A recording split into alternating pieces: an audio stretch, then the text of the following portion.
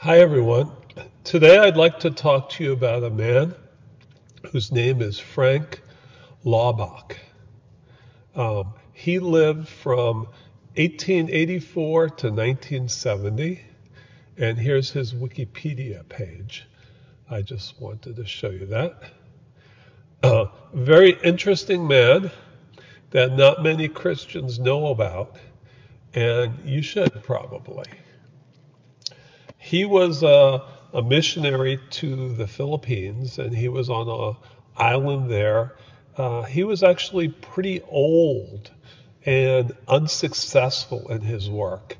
He was there for a long time uh, in his mission field, and he had very few converts, maybe none at all, maybe one or two. And he was really despondent and um, discouraged. And so he went up on top of a hill and he was praying, and uh, I'm sure he did that every day. But in this one time, he talks about he had the idea from uh, it came from First Thessalonians, uh, where Paul says that you should pray constantly. Uh, he decided that he was going to try to do that. And he decided the way he would pray constantly is to think of God for one second every minute and try to live his life doing that. And anyhow, he uh, he kept a journal, and you could read his journal. It's uh, pretty interesting reading about his attempt to uh, keep God in his mind for one second every minute. And if you read the journal at the beginning, he uh, didn't do so well. He kind of failed a lot. He said, you know, I really did. Th- I got involved in something. I did think of God for hours and hours. But then, as uh, his journal gets on, he thinks of God more and more. He's more able to do that. And uh, the reason we know about him is because he immediately got propelled into world history, uh, spending time with God like that. He uh, uh, became very successful uh, winning over the Philippine people he was with.